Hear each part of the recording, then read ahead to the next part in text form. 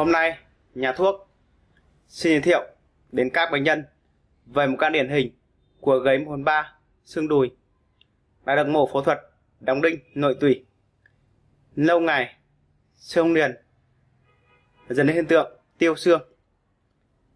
Qua hình ảnh trên phim thể hiện xương đùi bệnh nhân đang có lượng tiêu xương khá nặng. Đường gáy còn hở vì tiêu xương khá là nhiều. Trình ở viện làm mổ để ghép xương. Hôm nay bệnh nhân đến với nhà thuốc. Nhà thuốc sẽ điều trị cho bệnh nhân bằng phương pháp đắp nà nam kết hợp cho bệnh nhân uống thuốc nam nhanh nhền xương. Tiên lượng điều trị khoảng từ 3 đến 5 tháng là xương đùi của bệnh nhân sẽ liền hoàn toàn. Sau đó bệnh nhân cần thêm thời gian tập luyện là có thể cử động, đi lại, làm việc được bình thường. Anh mổ xương đùi tất cả là bao nhiêu tháng không? Hình ảnh của anh đang thì uh, tiêu xương nhẹ nhé. Tiêu xương đùi, mổ anh điều trị ở những đâu chưa có một thầy ở ngoài hải phòng bạch tuấn anh bó hải phòng bao nhiêu thời gian ừ. thì là bó thì cái này anh bôi nghệ là tốt rồi nhé bôi nghệ ở đây là tốt nghệ lưu thông mà làm cho không máu nhé trước khi đắp thì anh có thể là cuốn cho em. Cắt một tấm khăn mặt vừa vị trí quần áo nhé. Hoặc là anh có thể cuốn cho năm, bảy thế này. Từ dưới này nhé. Nhưng mà anh làm tiện thì anh dùng à, tấm khăn thứ nhất. Cái cổ của anh là nhìn xẹp nhé. 8 tháng rồi đó. Nhưng mà sơn sơn liền. Em lắp trực tiếp ở đây nhé. Cái cổ của anh à, ngủ rất đẹp đấy. nhưng mà xương làm tiêu rồi. Còn lá lên. này dùng băng quật nhé về nhà lúc nào đốt ngày cứu xương tần nhé để ngâm khớp gối hỏi cứng khớp nhé cái thứ hai là anh vui nghệ em tiếp tục cái này là tốt rồi nhé đây đây. Anh đâu mà tai nạn người sưng đùi nặng như này? Anh điều trị thứ hai là khỏi hoàn toàn nhé về nhà để mắt xong này anh khỏi anh bố nghệ bình thường em nhé bố nghệ làm là tiêu viêm mà săn thương như phòng máu tốt mà cậu uống tầm thứ hai vâng. anh điều trị một nơi thì không, được quản nó. Vâng. Anh điều trị anh cả đắp uống điều trị thứ hai một tháng hoàn toàn thôi. Vâng.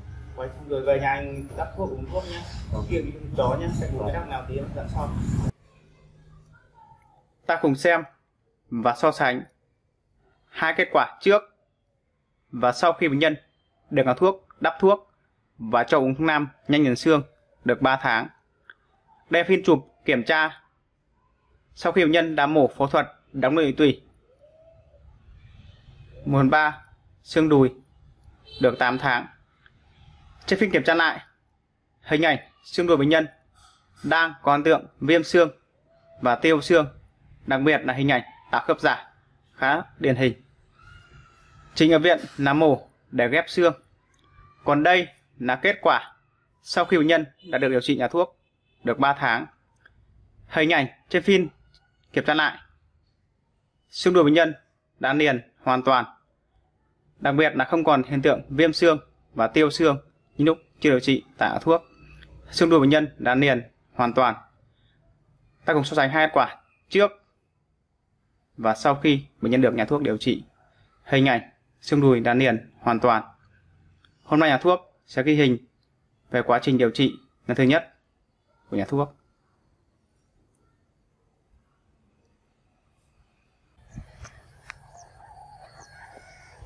Anh chào anh ạ. Anh ngồi đi. Hôm nay em xuống anh quay hình ảnh của anh. Về quá trình ngày trước anh bị gấy một, ba xương đùi. Sau mổ đóng đinh, nội tủy. Lâu ngày xương liệt hiện tượng tiêu xương. Rồi anh hỏi được có thương mấy tháng nữa bốn tháng rồi bốn tháng rồi vâng hiện tại anh ờ, xuống đi lại bình thường nhá. Vâng. Anh đuôi ra gấp vào nha đuôi ra gấp vào đuôi ra gấp vào người ra gấp vào anh đứng ngồi xuống nha hàng ngày đi bộ đi xe đạp được bao nhiêu cây? Em vừa đạp xe đi bộ chục cây ấy. ngồi xuống.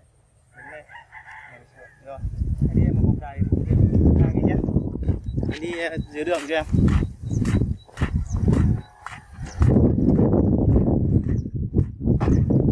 tải bệnh nhân đi lại khá là tốt sau một thời gian điều trị tổng là 4 tháng. Hôm nay là thuốc chống ghi hình của bệnh nhân. Ngày trước bệnh nhân à, mổ thuật đóng nội tùy lâu ngày, xương không liền. Là bó một à, thầy nang nhưng à, xương vẫn không liền. Nên hiện tượng yêu xương. Sau đó bệnh nhân về nhà thuốc thì được nhà thuốc điều trị bằng thuốc đắp và thuốc uống. Tổng là 4 tháng. Hôm nay nhà thuốc xuống ghi hình, hiện tại bệnh nhân đi lại hoàn toàn bình thường nhỉ?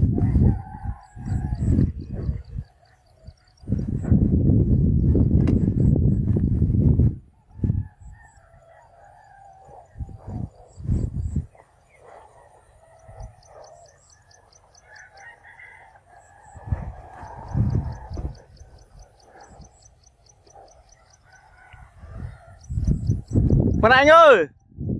Được chưa anh? Bệnh nhân đi lại hoàn toàn bình thường. Ngày trước là bệnh nhân lên nhà thuốc là Xương là tiêu khá là nhiều.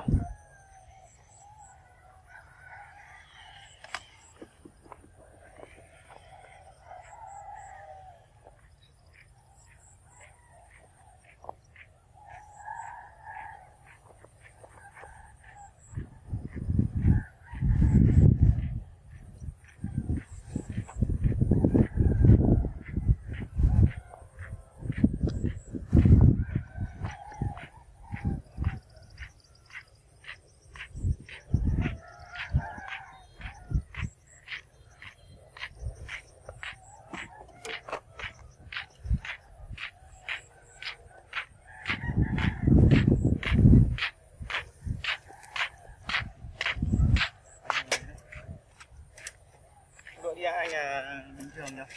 À, thuốc này cảm anh cho em chút thời gian là cho em hình ảnh về quá trình ngày trước anh gầy ba.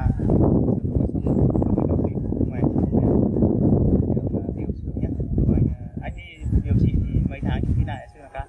Em ờ, hai tháng chụp lại vâng à, tốt rồi nhé. Em à, cảm ơn nhé.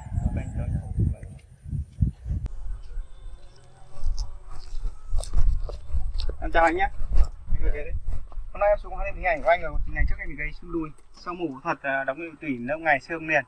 Hiện tượng tiêu xương. Từ anh khỏi mà được mấy tháng nhỉ? Em khỏi được hai ba tháng. Hai ba tháng. Hiện tại anh đi làm bình thường chưa? Vâng em đi làm được hai tháng. Anh uh, túi ra các bạn chưa? Túi ra. Gấp vào. Túi ra. Gấp vào. Túi ra. Gấp vào. Túi ra. Gấp vào. Anh uh, vạch uh, cho lên chưa? Đó. bây giờ đi lại cho em uh, vòng dài đằng kia nhá trước khi đi anh đứng lên ngồi xuống nha, mấy mấy lần cho. Ừ, ngồi ngồi ngồi xuống đứng lên. Ngồi xuống. Đứng lên. Ngồi xuống, anh đi lại bong đến sắp bò chưa.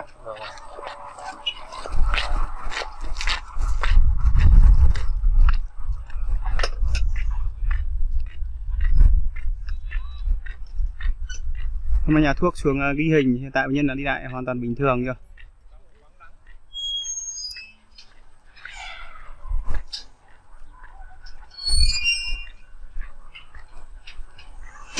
Ngày trước bệnh nhân bị gãy một phần ba xương đùi sau mổ thuật đóng hình tủy nhưng lâu ngày xương không liền.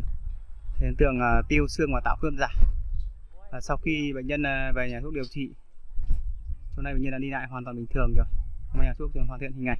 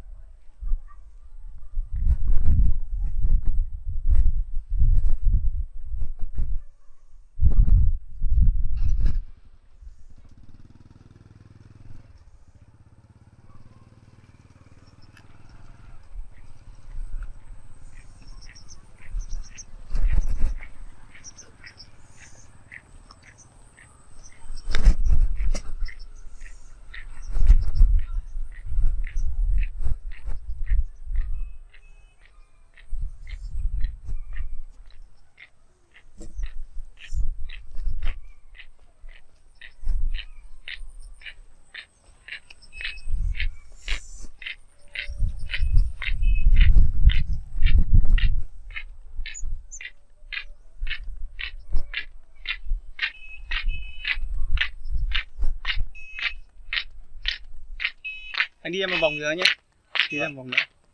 vòng lên chỗ để Vâng.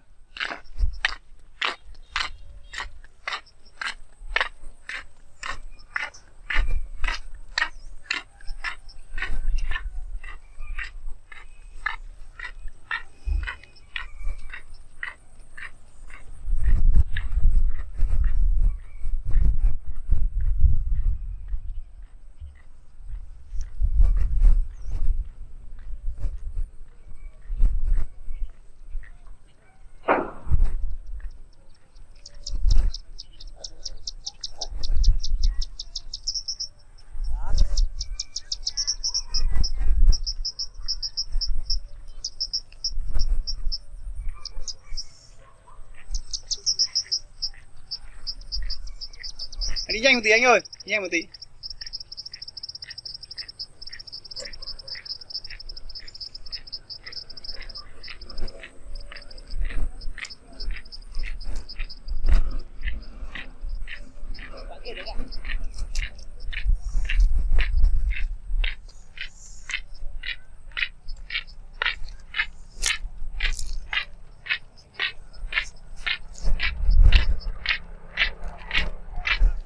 Anh à, ngồi dưới ghế đây.